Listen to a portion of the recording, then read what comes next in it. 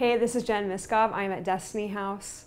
Have you ever had a prophetic word or a dream to write a book?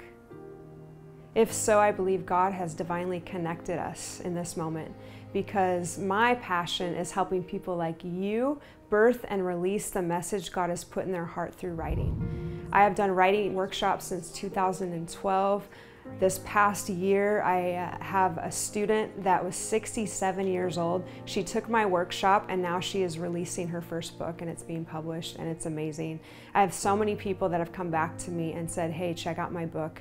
Your workshop, I not only wrote and released my first book, but I encountered God in a profound way. And so I'm absolutely 100% sure if you take this workshop that you will be inspired to begin moving forward on your book project and that you encounter God in a powerful way. So I bless you as you move forward towards seeing your dream become fulfilled.